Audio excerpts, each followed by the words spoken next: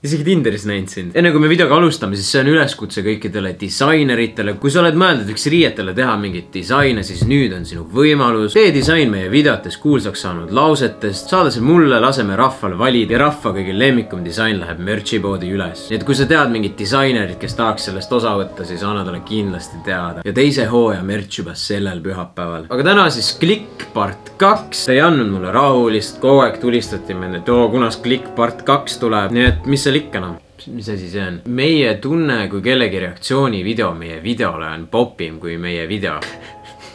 nii ta on. Andrei Sevakin has joined the chat. jep, jep, like. Toxic. aga ega siis midagi, hakkame siis vaatama klikk osa kaks. noh, naine, naine võiks ju ilus olla, eks ole. mulle meeldivad äh, esimene sekund ja mulle juba meeldib see vend. selle tüübiga peol ma arvan igav ei hakkaks. ja no muidugi esimese asjana öelda, et naine võiks ilus olla, on väga alfalükene. pigem siuksed sportlikud ja saledad tüdrukud, eks ole. aga mulle meeldiks, kui äh, tüdrukul oleks nagu mingisugune selline huvivaldkond, millega ta tegeleb ja mis paneb nagu noh, nagu öeldakse, paneb silma särama, eks ole. selgitame siis välja, kumma eks ole, no kui see peaks külge jääma. aga kas ta just ütles, et talle ei meeldiks, kui tüdrukul oleks mingi huvi, mis paneks tal silmad särama? mis sel naisel peaks olema siis nagu? sulle meeldib trennis käia või? Come on, Tibu, sinu tänane mänguplaan on see, et sa pesed nõud ja riided ära, eks ole? eks ole. neist tekital klikk. mina olen Lii, olen kolmekümne ühe aastane, tulen Tallinnast ja töötan toitlustuses juhiabina. ja let's go, Lii. Lii on meie kanali toetaja, nii et teeme ühe suure aplausi Liile. ma olen olnud vallaline päris pikka aega, ma olen elanud viimased äh, kuus-seitse aastat Inglismaal ja alles kolisin Eestisse, nii et alustan uuesti kohtingumaastikku. jep, ja klikisaade on väga õige koht selle jaoks. eks ole minu nimi on Vilgiida Kokk, elan Tallinnas. tööalaselt ma teen, mis ma teen, ma olen vabakutseline. Velgida. Vau, milline nimi. kümme kümnest reaalselt. põhimõtteliselt. vabal ajal mulle meeldib eh, tegeleda tantsimisega, ehk siis ma olen tantsutüdruk eh, sellises eh, asutuses nagu TalTech Cheerleader. Nad mõlemad tunduvad ju kirjelduse järgi täitsa toredad inimesed, aga kõik, kes on kunagi see ei tundunud üldse usutav nagu. Nad on täitsa toredad. kes on kunagi tutvumisäppe kasutanud, teavad, et eelkõige loeb välimus. kohe väga, väga ohtlik ängel. saadavadki osalejad endast kõige ilusama pildi. Okei okay., kumb sulle rohkem meeldib? äge pilt on siin, ägedad silmad kuidagi peale jäänud, nagu oleks läätsed, aga ma arvan, nagu peegeldub midagi, nagu oleks kuskil metsas tehtud pilt silmade pealt. ja see soeng on ka äge siuke natuke. ta on köögis, Erki, ta on köögis. asi on nagu just ärganud, nagu oleks särgi selga pannud, teinud hommikuse pildi, nii, tööpäev algab ja siis siukene otsustav nägu on ka peas, et, et täna ma teen asjad ära. päris hea kirjeldus jah. ohoh, samuti blond tütarlaps. tema on siukse rõõmsama näoga, eks ole, hästi punased värvitud huuled, eks ole. see pilt oleks umbes siukene, et eh, teeme siis nüüd pilti ja proovi nüüd hea nägu pähe teha, siis ta nagu no teeme. mõlemad tüdrukud näevad väga kenad välja. ma oleks oletama, et nad kuskil Tinderist tulevad ette mulle, siis ma oleks muidugi like, like, kuigi ma nagu neid like'e niimoodi ei lao, et, et selles mõttes, et äh, no esiteks ma ei ole kunagi kuulnud, et inimene kirjeldaks nii detailselt mingit pilti. ta ikka võtab oma osa päris tõsiselt, ma vaatan. ja no teiseks tüdrukud, vaadake ette, et Erkilt te seda like like. nuppu nii kergelt ei saa noh. õige kinovend noh.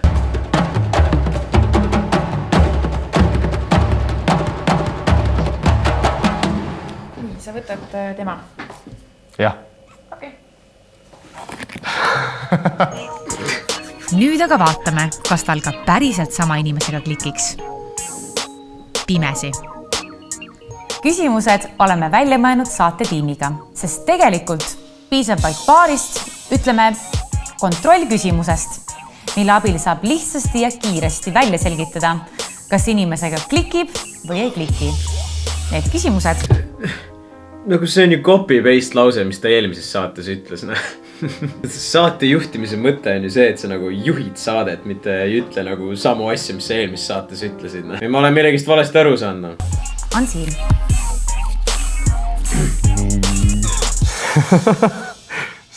ära mõtle, kohe ütle, petta või saada petetud. saada petetud. petta.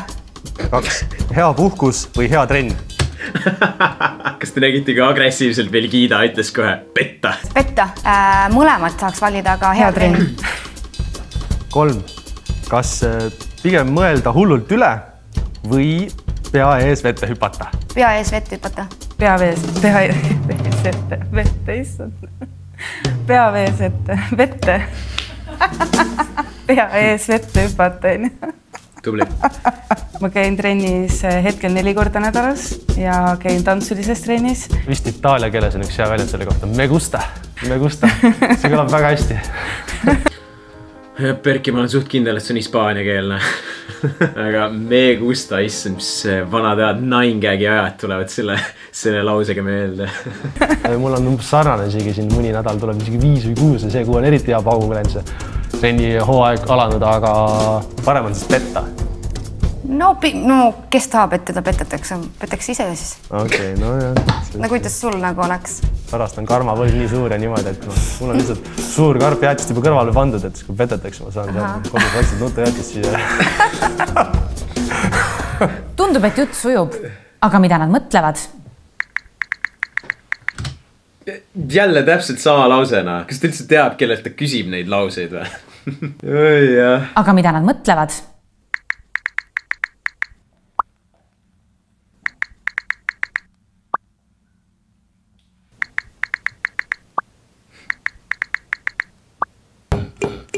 Roheline mulle meeldib, see on hea värv. mis on äh, suurim summa, mille oled korraga kulutanud? võib-olla autot ostes või midagi või maja ostes? ei, autot ega maja mul ei ole kahjuks. lennupiletite peale ma arvan, mingi tuhat, tuhande euro väärtuses oh,. see läks kuule või? ei, Austraaliasse. Austraalia, aa okei okay kuule, tuhande euro eest kuule, pange mind kirja, näe. okei vot see on jah sa läksid, elasid Austraalias pikalt või midagi äh,? aasta aega. no vot ja, ja. suurim summa, mida ma olen korraga kulutanud, on võib-olla kaks tuhat viissada eurot, siis kui ma reisil käisin. Austraalias? ei, Balil.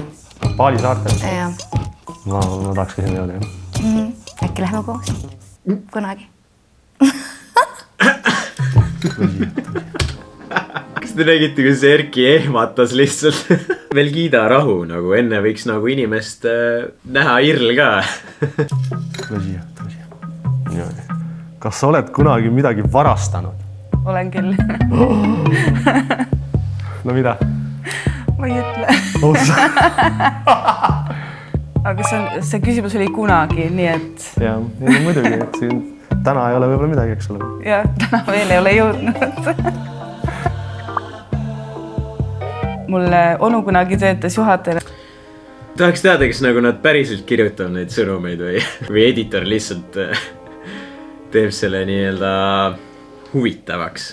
Poes, siis ma käisin seal lähedal koolis ja siis ma ei tea, miks, aga ma väga tahtsin šokolaadi ja siis ma võtsin selle sealt poest, jäin kohe vahele ka, siis mu onu nägi mind. No see on ju suht sihuke lahe lugu võib-olla ma nalja mõttes kusagilt pubist olen mingi klaasi küll kaasa võtnud. kipun ikka teise mõtlema, et teine inimene nägi kõvasti vaeva, mis ma nüüd siis varastan. nagu see on hetke emotsioon, et nagu teeks nalja nagu spontaanselt, mitte ma nüüd ei mõtle nüüd ette, et oh, ma lähen nüüd täna, ma ei tea, pubisse, ma võtan kuni terve serviisiga kuidas sihuke asi üldse võimalik on nagu pärast oled pubid inventuuri, siis vaatad, nojah, Velgida on jälle ühe klaasi ära rottinud, noh. kui sa ei peaks raha pärast tööd tegema, siis äh, mis tööd sa teeksid? ja ma täna kusjuures äh, hommikul mõtlesin selle täpselt sama küsimuse peale. ma tegelikult tahaks kõigepealt õppida. kindlalt mõtlesid, kindlalt mõtlesid mingit uh, uut asja, kas kunsti vallas näiteks fotograafiat või videote tegemist tahaks ja kui mul oleks seda aega, ma ei peaks tööl käima ja ma saaks seda õppida ja seda nagu arendada ja teha, siis oleks hästi äge. Ma arvan, et äh, ma käiks lasteaias äh, abis lastega mängimas Erkit on lihtsalt nii kerge üllatada, noh. ma arvan, ta oleks excited lihtsalt iga lause peale, mis sa talle ütleksid. Erki, ma käisin täna poes ja ostsin süüa. mõtle oma viimase suhte peale. kes selle lõpetas? pigem teine pool. mina lõpetasin, sest et ei ole mõtet äh, kummi venitada, kui see ei toimi see lõpetamine oligi siis niimoodi, et äh, umbes noh, piltlikult ette, et kutsusid laua taha ja ütlesid, nii, nüüd me oleme rääkida. pakkisin oma asjad ja läksin minema. aga konkreetselt ühesõnaga, konkreetselt jah.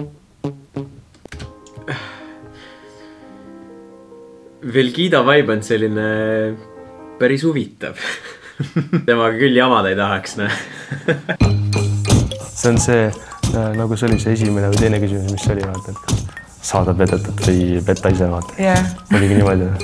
no mitte päris ähm,. ikkagi karm värk.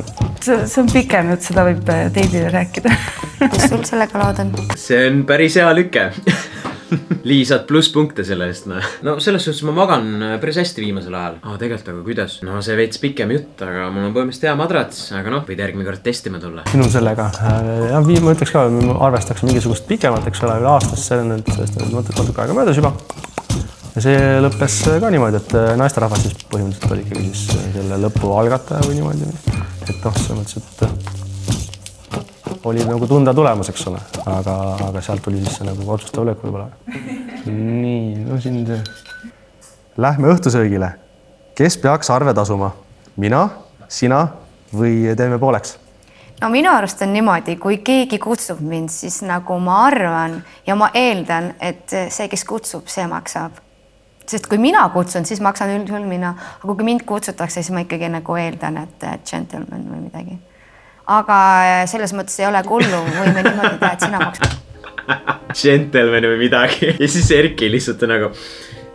ma ei tea, ma ei ole džentelmen vist aga selles mõttes ei ole hullu, võime niimoodi teha, et sina maksad õhtusöögi, mina tellin takso ei ole hullu.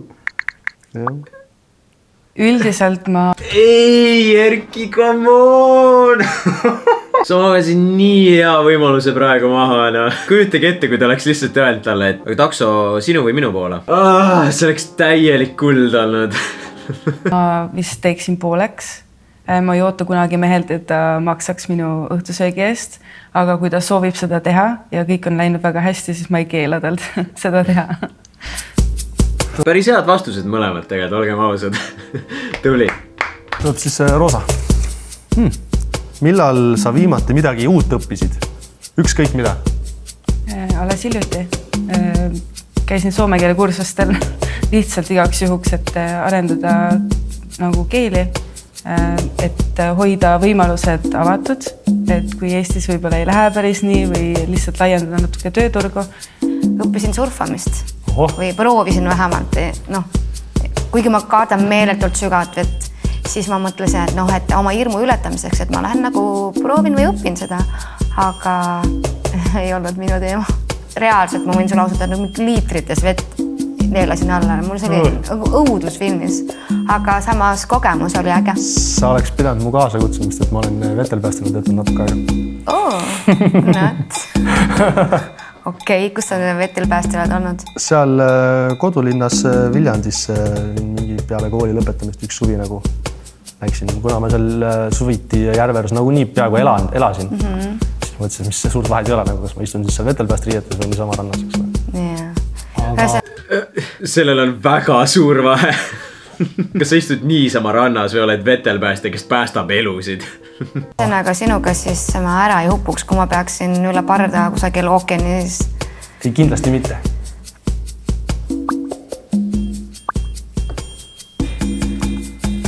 Niimoodi. vali Google'ist üks pilt, mis sind peale vaadates hästi õnnelikuks teeb pilte enda ja enda kassiga näiteks vaata mulle ei meeldi kassid. mulle ei meeldi selles mõttes kassid nagu üldse, nad ajavad karva ja siis ma ei viitsi koodistada. koerad ajavad? seda diivanit nühkin nende karvadest mulle ei meeldi. koer ei aja siis karju? ei, koer, no pigem, kui ma pean valima, siis koer, aga no ma... täpselt samamoodi ajab ka, kui mitte rohkem nagu. pigem koer kui kass. pigem olen kassi inimene, oleme ausad. üks peab kompromissi leidma, kui sa ikka oled, üks on kassiarmastaja ja teine ei ole, mis sa siis teed? siis võtame midagi muud, siis võtame närilised, mul on kodus närilised praegu aa ei, mulle need ka ei meeldi. ainult koerad siis jah? jaa,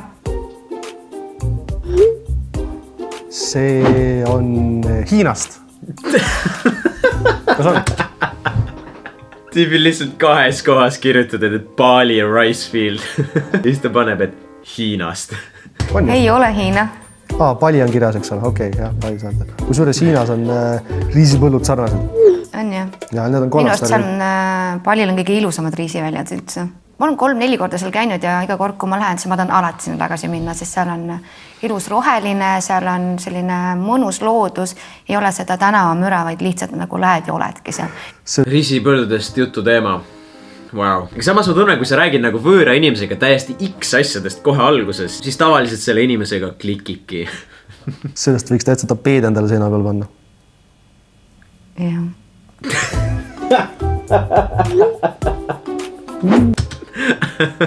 no enam ideaalsemat vastust sellele lausele ei saanud öelda, noh. riisipõldudega tapeet. okei okay,, no uus merch idee olemas. Nonii, kumma inimesega sul parem klikk tekkis? Vau, saatejuht on siis üheksa minutit hiljem tagasi, amazing. esimene tüdruk siis äh,, mulle meeldis see, et äh, niisugune enesearendamise mm, fookus. veel täna hommikul sa mõtles selle üle, mis äh, ta teeks, kui ta ei peaks äh, raha eest töötama, eks ole. et äh, see kõik nagu klikkis päris hästi. mulle nagu tundus, et äh, ta on niisugune häälevõitu, et äh, väike miinus võib-olla siis. teine tüdruk oli kohe alguses lõbus, eks ole, mõlemad naersime korraga teisel pool seina, eks ole issand, ma juba tunnen, kuidas see eks ole mul hakkab pähe jääma. Aga noh, jutu põhjal oli siin see, et, et oi, et äh, kasse kindlasti ei taha. aga jutu põhjal tekkis mul kõige parem klikk äh, neiuga number kaks. aga kas ta eelistas sama inimest ka pildi põhjal?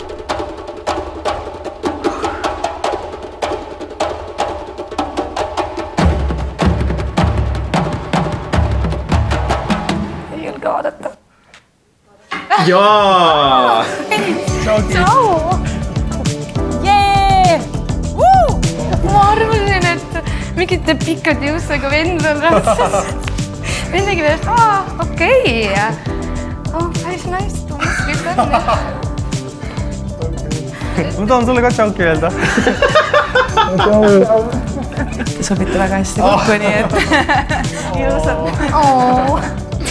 tänases saates tekkis Vergida oli nagu mingi, aa, nii kahju, et sind ei valitud, aa, aa, mu cringe, mu cringe, veel lõppu siia siuke sutsakas cringe'i. tõeline klikk. ja nad lähevad ka päriselt kohtingule. mina olen Erki. väga meeldiv Erk, minu nimi on Velgida. Vergiida. Velgida, Vergiida. jah. Nende esimesel kohtingul saab silma peal hoida Kroonika sotsiaalmeedias. päris, päris järsult äh, kätles teda. ja Loli ei osanud absoluutselt seal olla, lihtsalt seisin, aga mingi kuhu ma sattunud olen. oi ei jah, pull, pull, aina paremaks läheb. ja no siia lõppu sai ikka seda cringe momenti ka natuke sisse vajutatud. selline sai meie tänane kliki video. uus merch juba sellel pühapäeval ja kui sulle see video meeldis, pane like, pane subscribe ja pane bell notification, et sa järgmist videot maha ei magaks. aga seni olge tublid. tšau, pakaa.